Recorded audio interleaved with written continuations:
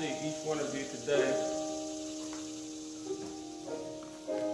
I trust and hope that everyone is ready, that your hearts and minds are clear, as we seek to worship our God today. He told us, he says, make a joyful noise unto the Lord, all ye lands. Serve the Lord with gladness. Come before his presence with singing. Know ye that the Lord, he is God. It is he that has made us, and not we ourselves. We are his people and the sheep of his pasture. Enter into his gates with thanksgiving and into his courts with praise. Be thankful unto him and bless his name. For the Lord is good, his mercy is everlasting, and his truth endureth to all generations. We're here today to lift up the name of our God. We're here today to lift up the name of our Lord and Savior, Jesus Christ. I'm happy to be in the house of the Lord. He told us, he said, my house should be called a house of prayer Amen. for all people. We're here today to glorify and magnify the name of our God. We're going to begin with a selection, and after this selection, uh, we will go into our scripture reading and our prayer. Where the Lord's name be praised.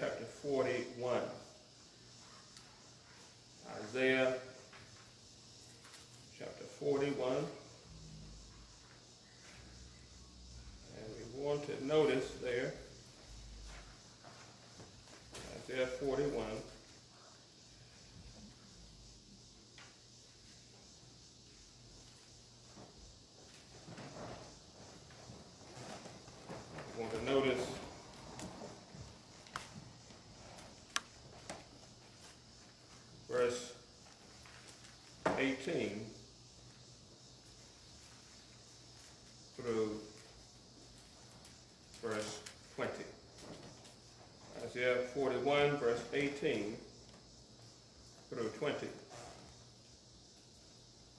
He says, I will open rivers in high places and fountains in the midst of valleys. I will make the wilderness a pool of water and the dry land springs of water. I will plant in the wilderness the cedar, and the shittah tree, and the myrtle, and the oil tree. I will set in the desert the fir tree, and the pine, and the box tree together. Verse 20. That they may see know, and consider, and understand together that the hand of the Lord hath done this, and the Holy One of Israel hath created it. Amen. Amen. God bless the reading of his word. Heavenly Father, we thank you today. We thank you because you have seen us through another week. Yes, Lord. And you brought us to a new week. Yes. A new experience, a new opportunity to serve you. Lord, we pray for all of those that are going through difficult times, hardships. We pray today that you enlighten their love.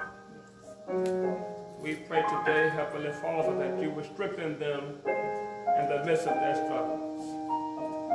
You give them wisdom, knowledge, that you will help them to grow in every area of their lives, those that are sick, those who are going through pain in their bodies.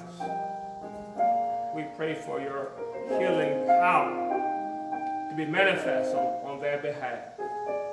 Those that are grieving right now, I pray you'll send to them words of comfort, uh, that you will manifest yourself in ways that only you know how, to, that they may know that you're with them and that you're able to, provide for all of their needs, whether they be emotional needs, whether they be spiritual needs, financial needs, you're able to provide. And we give you praise and we give you glory. We pray, Heavenly Father, uh, for all of your children today, Macedonia and other places. Our situations are different but our need is the same. We need you, Lord. We need your word. We need your power. We need you to manifest yourself in our lives. We need you to show yourself strong on our behalf.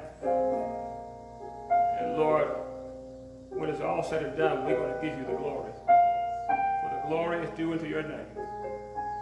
And Lord, we thank you even now we're not waiting to see what you're going to do. We know you're God that knows the end from the beginning. And we know that it is already done. So bless your children. Bless your people. Yes, Prosper our every effort to do good and to serve others. We bless your holy name. And we ask all of this faithfully in the name of Jesus. Amen.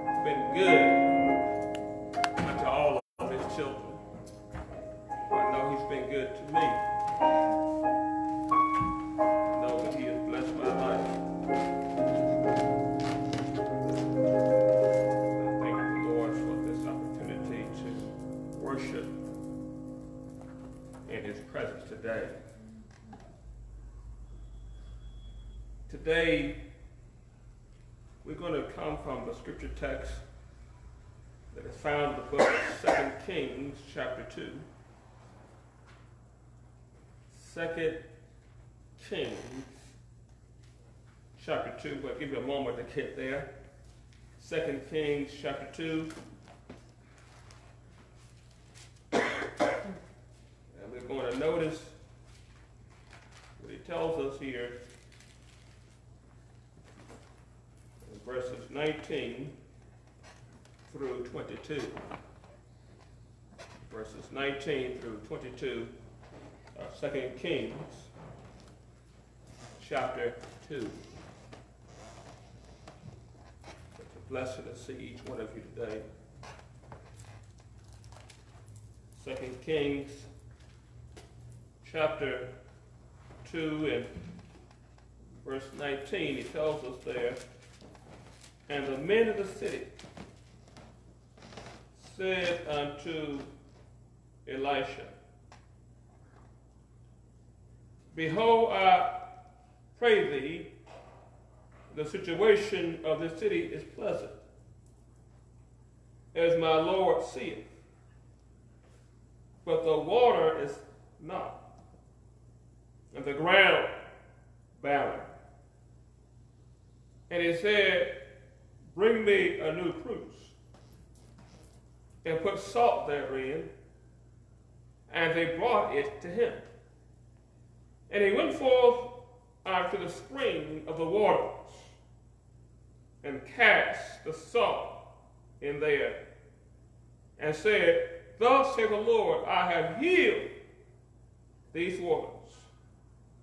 There shall not be from thence any more death or barren land.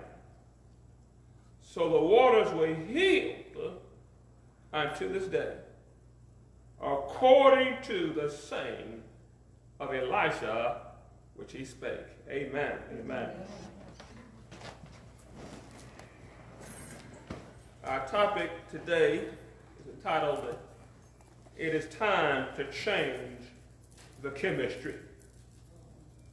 It is time to change the chemistry.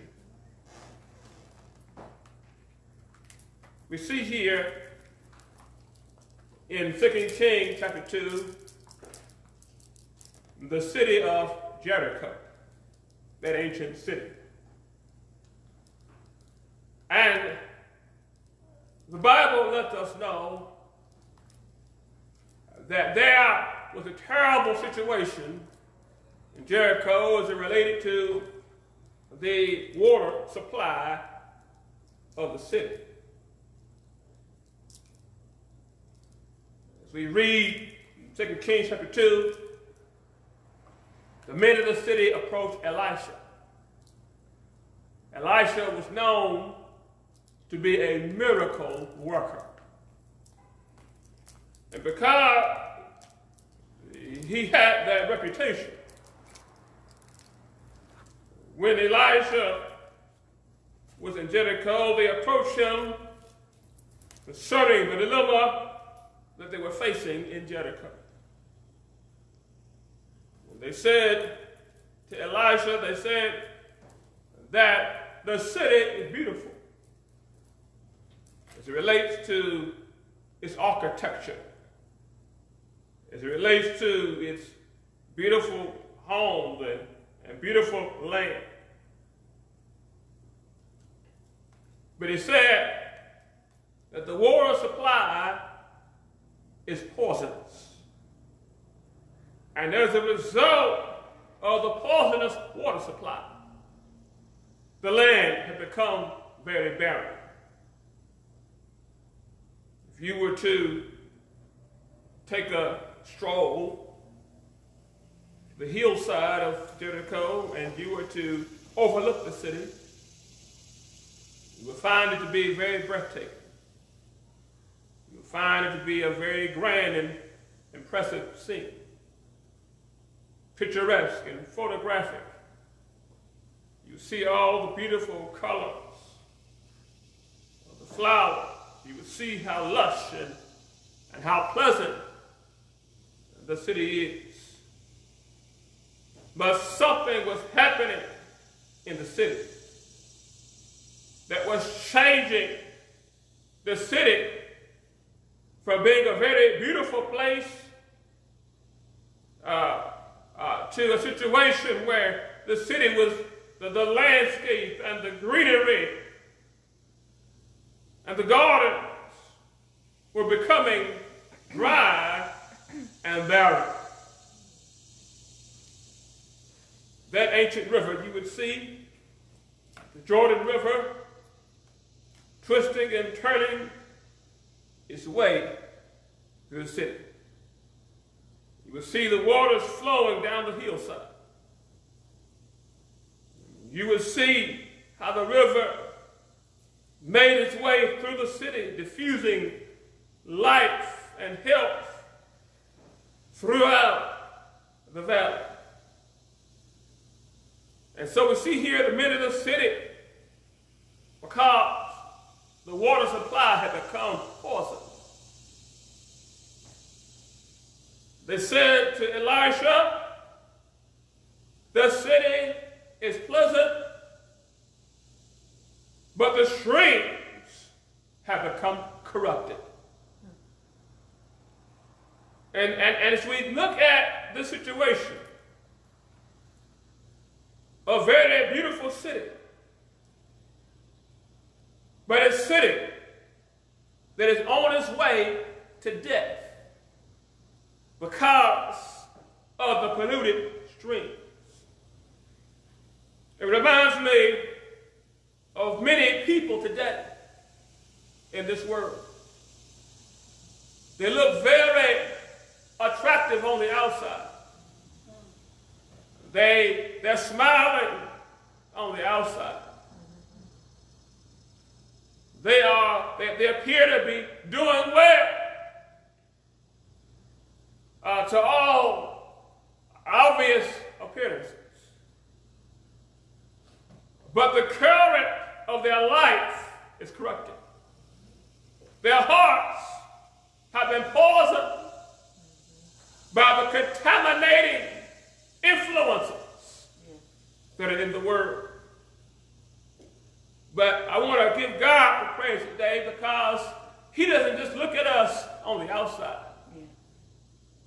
He sees us on the inside. He sees us through and through.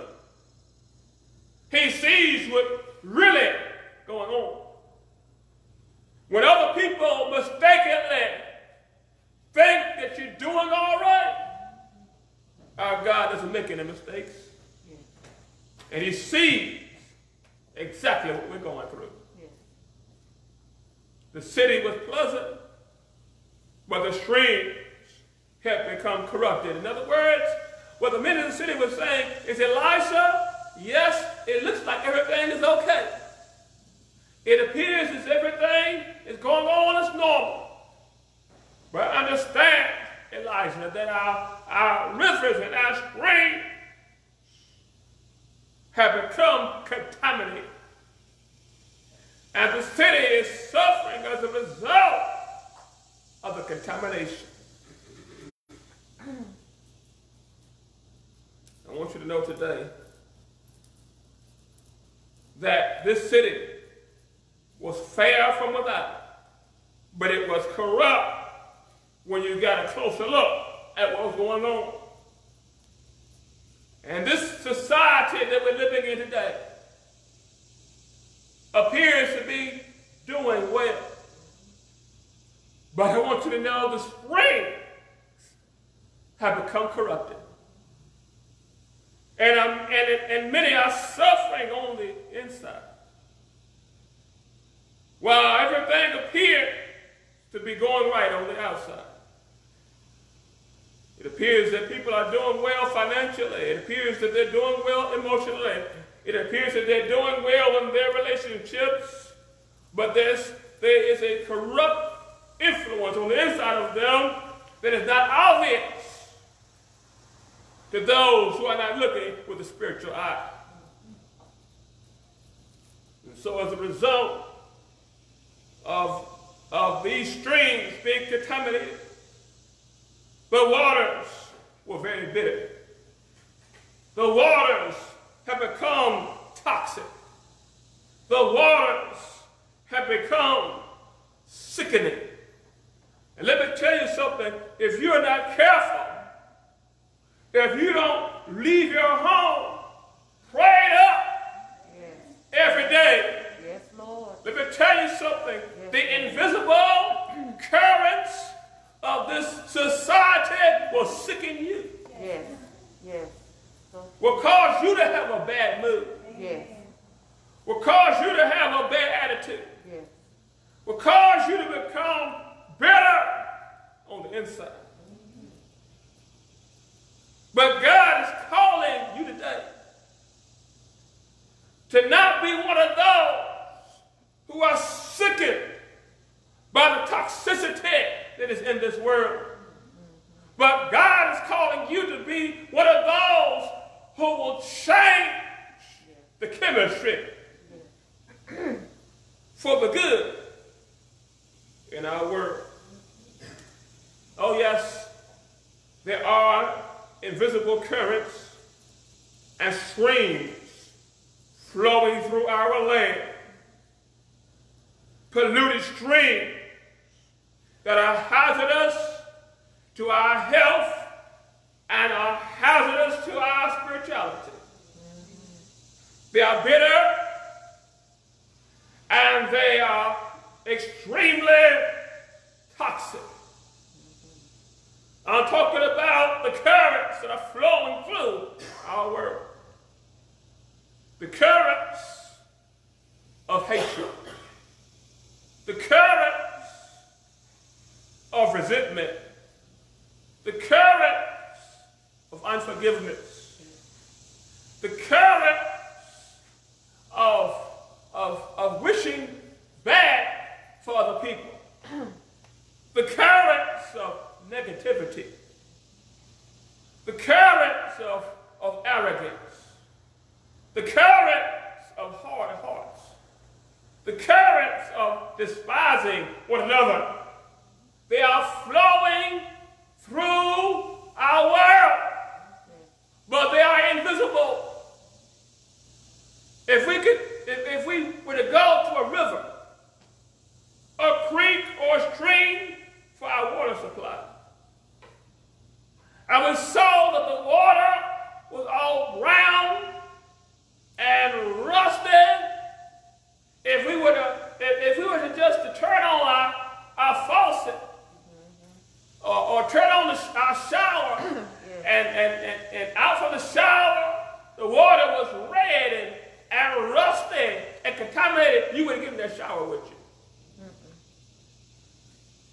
But the issue with the currents of this world is we can't see them.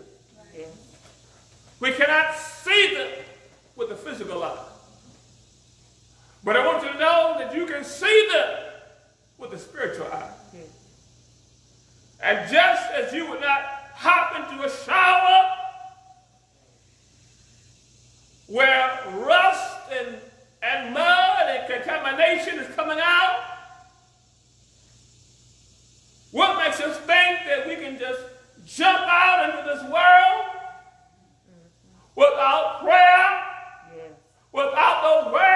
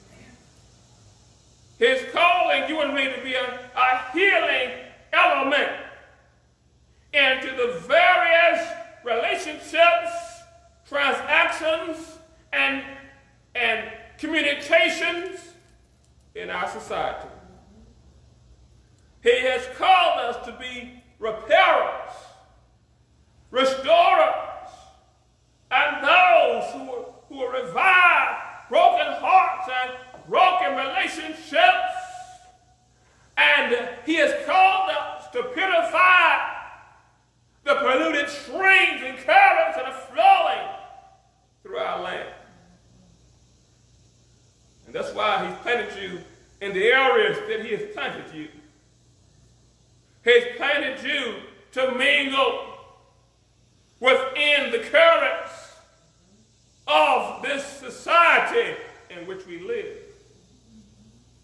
He has planted you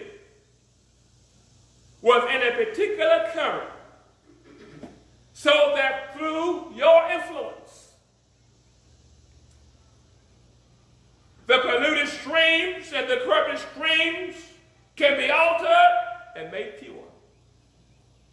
They can be altered when everybody else is mean, but kindness is flowing out of you. They can be altered when everybody else is being inconsiderate and thoughtfulness and compassion is flowing out of you. When everybody else is at, at odds with one another, flowing out of you is the expression that Jesus gave. Blessed are the peacemakers, for they shall be called the children of God. Yeah. He has planted you to be one who will change the chemistry, to change the toxic environment in which we live and to alter and reverse and to shift the poisonous nature of the currents that are flowing invisibly in our world. But the problem that so many are experiencing is that rather than changing the current and altering the chemistry and the society in which we live. So many are allowing the currents to change them. Yeah. To cause them to go from being kind to being unloving. And I'm here to let you know today that no matter how mean this world becomes, no matter how merciless and how cruel this world becomes, don't you dare allow the cruelty and the meanness and the viciousness of this world alter the chemistry that's flowing within your life. But God has called you to be an agent of change and He's planted you in the environment that He has planted you so that you can be a healing force and whatever environment He's placed you in. Everywhere you go, they ought to say, I feel a whole lot better after they walk into the room. They ought not be feeling down and discouraged because they came into your presence. Uh, they, they ought to be able to say, I'm glad I crossed paths with him. I, I'm glad I crossed paths with her because I, I was feeling so low, but now I'm lifted up. Every place you go ought to be better off because you have crossed paths and you have been a healer rather than one that will sicken those that you come around. And so Elisha journeyed, having received the salt. He journeyed to the spring of the river. He didn't just, he didn't pour the salt into the river. He journeyed to the spring. Because you see, the spring is the source of the river. You see, if the spring is bad, the river is going to be bad. And let me tell you something. The reason why people's actions are so negative is because our hearts are impure. Mm-hmm. And you see what God is trying to do today. He's trying to get to the spring. He's trying to get to the source. Because if the source can be changed, because you see, if the spring can be changed, then the actions will become changed. Yes. And so it's amazing to me that the Lord had Elisha to use salt to be, to be cast into this river. Because never before have we ever heard of salt uh, being having a, a, a, a, a, capacity to, to change our water supply from being polluted to clean. But I want you to know that God has a reason for doing things. For you see, the water that we bathe with has to go through a purification system. And one of the chemicals that they use to, to purify that water is chlorine. And you see, if, if Elijah had used chlorine and threw it into the water, and the water had become clean, they would have given the credit to the chlorine and not to the God of Elisha. And so God works in mysterious ways so that the way that he solves a problem, he solves it in a mysterious way so that people will not say that it was because of a natural means that the cure came about, but they will be able to say that it was because of the power of the living God that a miracle came about. And so Elisha heard the terrible news. And he saw the desperation on the faces of the men of the city. He saw the terrible disappointment. The disappointment that was in their eyes. And he saw the fearfulness in their behavior and the concern that they had for the city. And it was, uh, it was in that very moment that Elisha called for a jar of salt. And, and when the jar of salt was brought unto the prophet, Elisha grabbed hold of that jar of salt. And Elisha journeyed up that hill, the hillside of the Jordan Valley. And he went on toward the spring and the fountainhead of this river. And when Elisha arrived, when he arrived at the spring and the fountainhead of the river, Lord have mercy. Elisha emptied out.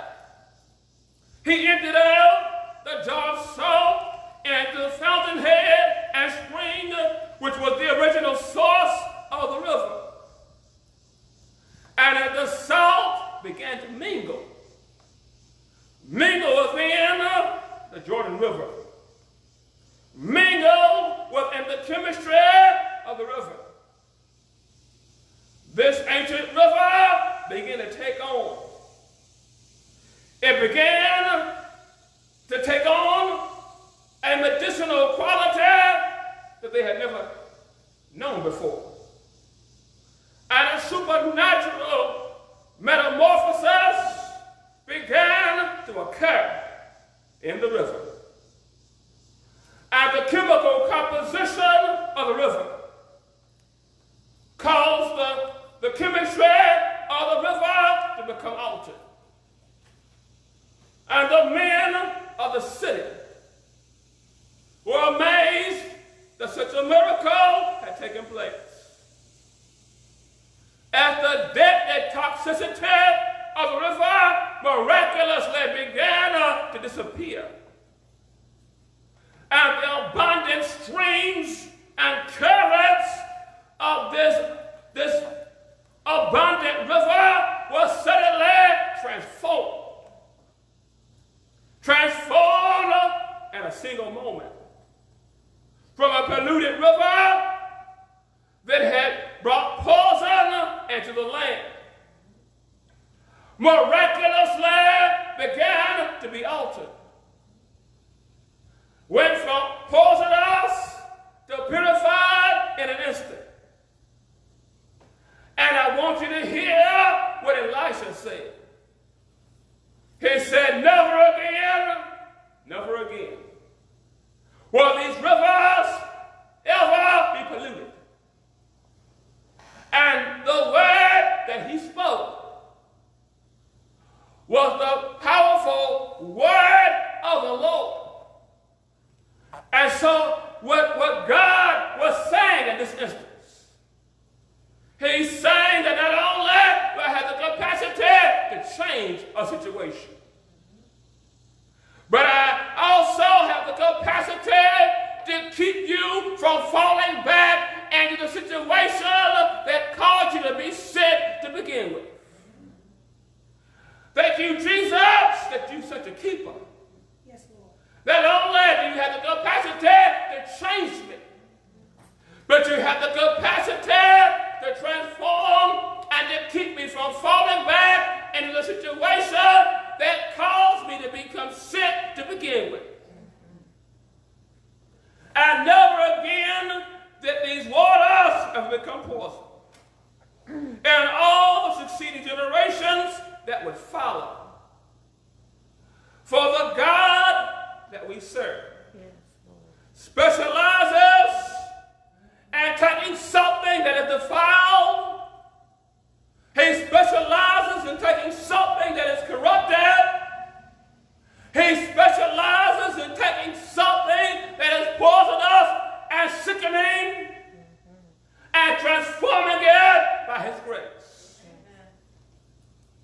And I want you to know that there's more healing power in the name of Jesus than all the pharmaceutical companies in this world.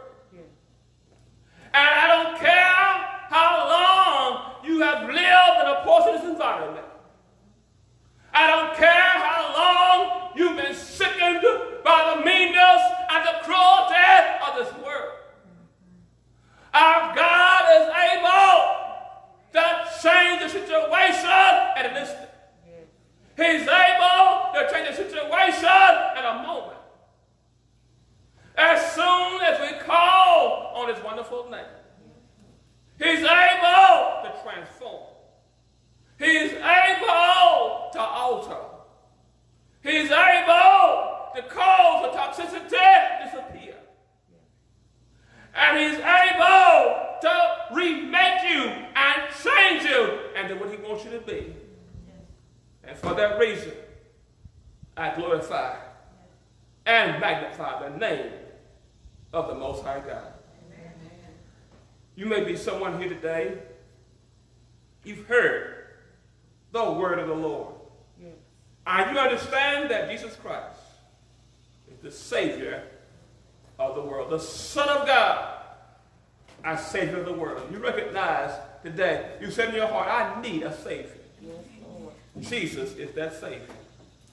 And He will receive you if you will simply open up your heart to Him today and give Him your life. I want you to think about committing your life to Christ Jesus as your Lord and Savior as our soloists come forward. And I pray today that you will indeed make your decision for our Lord and Savior Jesus Christ. And I pray that as you give your heart to Him today, I pray that He will bring healing into your life.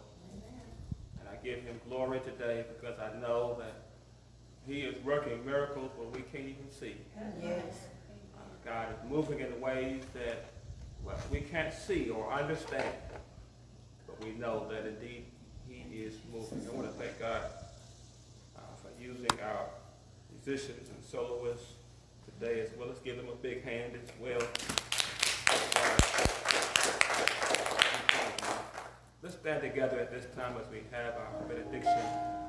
And remember also to tune in on Wednesday night as well. Tune in Wednesday night at 6.30 for our Bible study.